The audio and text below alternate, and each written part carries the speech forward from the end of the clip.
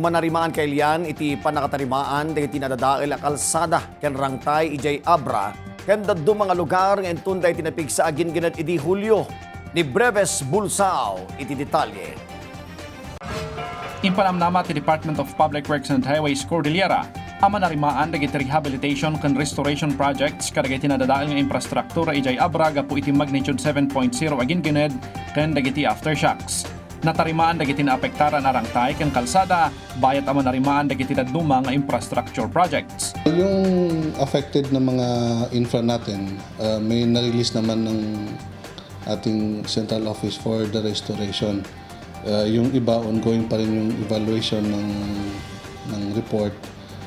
Uh, yung mga na-release na for the restoration, ongoing pa rin yung restoration efforts natin. And then, uh, yung sa um, malaki kasi yung damage ng earthquake sa Abra.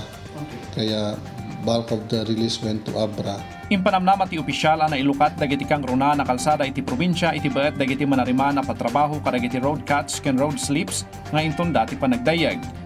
Tapno mapasaya at pay dagiti kalsada ken rangtay ijay abra adu dagiti nakalinya a proyekto a mapunduan inton 2023. Meron pa rin kasi yung ibang sections kasi ng ating kalsada may mga proposals na tayo na kumbaga kasama na sa proposals natin and then nagkaroon ng mga damage so yun pa rin doon pa rin yung gagawin natin Kabayatan na maituloy matlaang dagiti manariman a restoration projects kadagiti kalsada ken rangtay iti daduma a probinsya ana apektaran matlaang iti nagduduma a didigra. Breves Bulsaw para iti pagilian.